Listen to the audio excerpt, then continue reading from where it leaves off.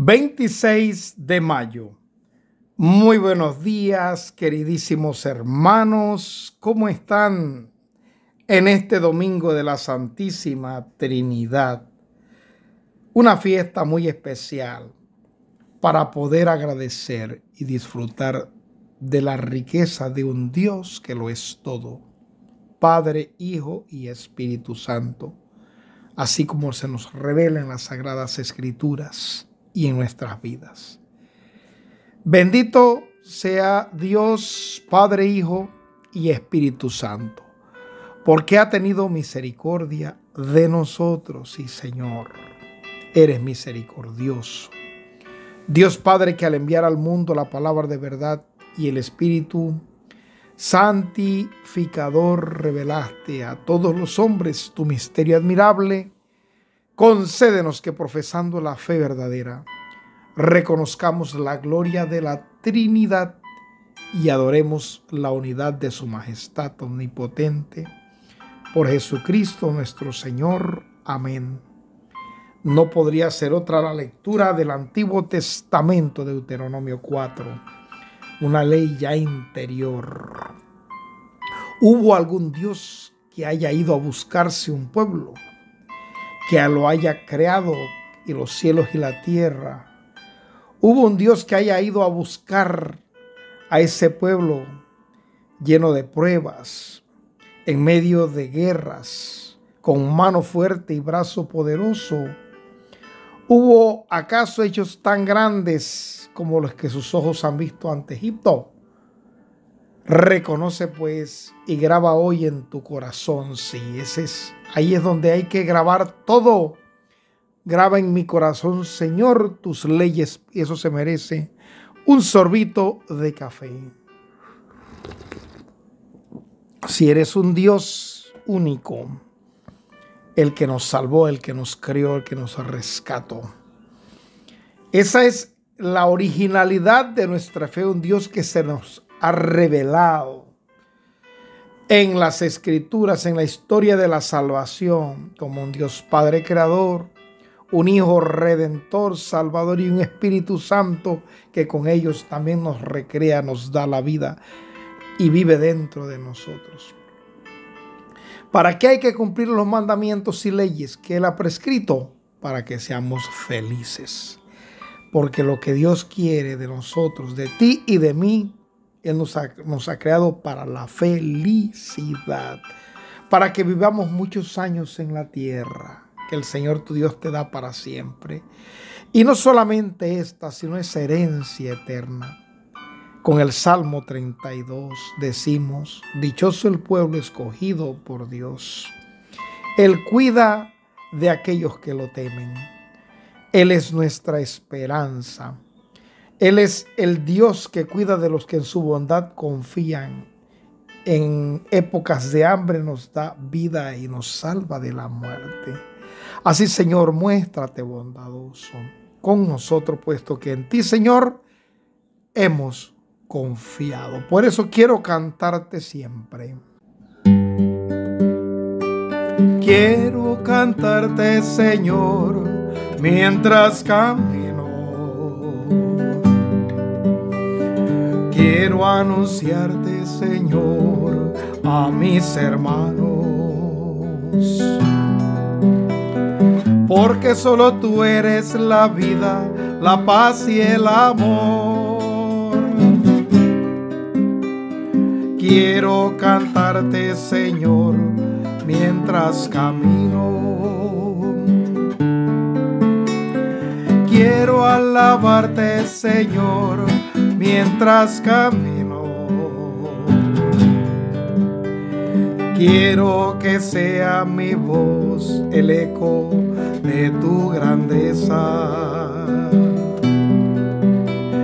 Y que sepa la gente que tú eres su Padre.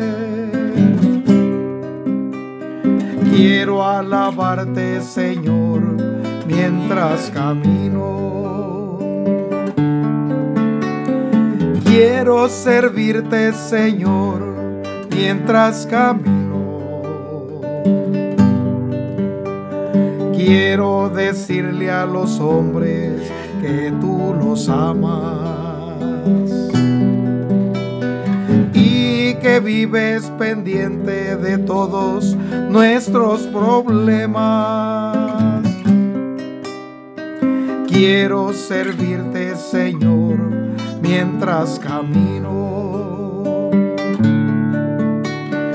Quiero escucharte, Señor, mientras camino.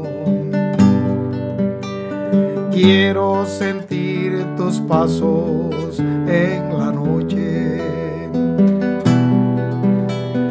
Hasta el alba del día que el pueblo por ti elegido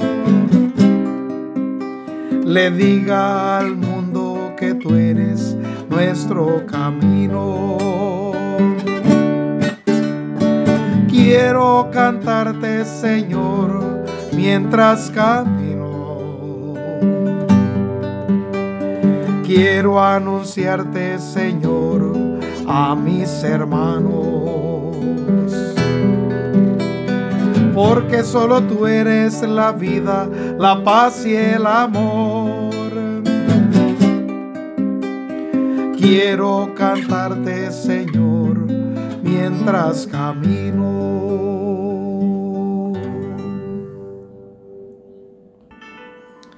Los que se dejan guiar por el Espíritu de Dios, esos son hijos de Dios. Señor, guíame, guíanos.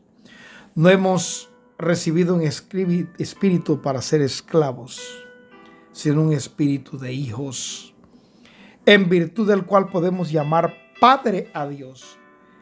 Qué buena noticia Pablo nos regala en la carta a los Romanos capítulo 8 versos 14 al 17. 17. El Espíritu Santo se une a nuestro propio espíritu para testimoniar que somos hijos de Dios.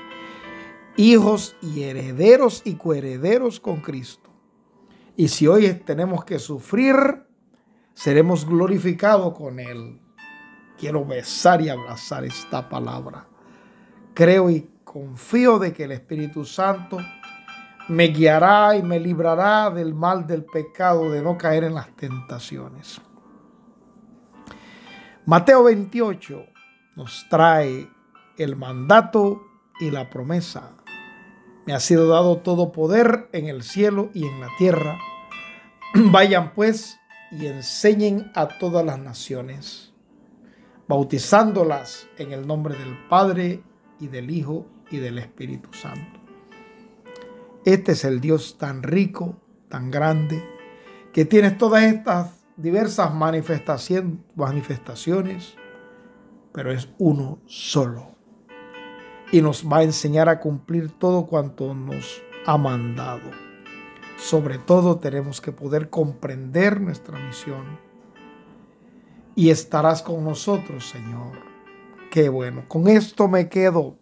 Yo estaré con ustedes todos los días hasta el fin del mundo. También queremos estar contigo, mi Señor, para cuando tú vengas revestido de gloria y majestad, resucites a todos los que han muerto en Cristo y a todos los que estén vivos, vivos, nos arrebate o los arrebates juntamente al cielo. Esa es mi promesa. Esa es mi esperanza. Señor, yo quiero ser en todas partes tu fiel testigo. Señor, yo quiero hablarle a todo el mundo de tu amor. Donde habita el odio, plantaré la concordia donde nazca la ofensa, sembraré el perdón. Señor, yo quiero ser en todas partes tu fiel testigo. Señor, yo quiero hablarle a todo el mundo de tu amor. Donde haya discordia, yo pondré armonía. Donde anide el error, alzaré la verdad.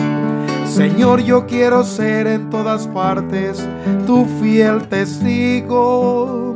Señor, yo quiero hablarle a todo el mundo de tu amor. Donde viva la duda pondré la certeza, donde crezca la angustia la esperanza surgirá. Señor, yo quiero ser en todas partes tu fiel testigo. Señor, yo quiero hablarle a todo el mundo de tu amor. Donde estén las tinieblas, seré luz que ilumina donde haya tristeza, la alegría brotará. Señor, yo quiero ser en todas partes tu fiel testigo. Señor, yo quiero hablarle a todo el mundo de tu amor.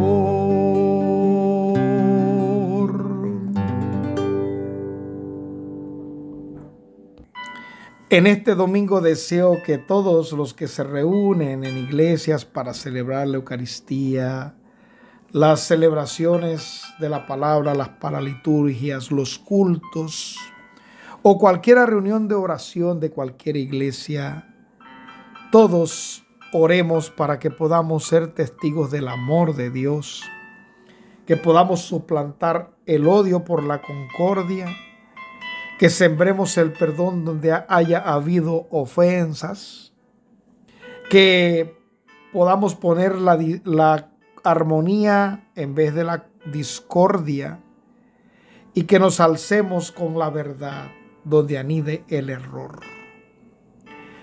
Que las dudas den paso a la certeza del amor, de los grandes valores que haya paz en el mundo, que cesen las guerras, la muerte y los sufrimientos de los inocentes, que se acabe la tortura en el mundo, que los corazones que sienten angustia puedan llenarse de esperanza, que los que viven en las tinieblas del error, del odio, de los malos planes, abandonen las tinieblas y se dejen iluminar por la luz que es Cristo.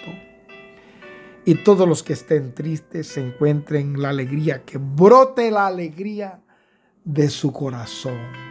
Por esto oro hoy y siempre y bajo la protección, la ayuda y la presencia de la Santísima Trinidad, le pedimos al Señor su bendición. Que Él nos bendiga, el Padre, el Hijo y el Espíritu Santo. Amén. Y te acompañe siempre esas tres divinas personas con su amor.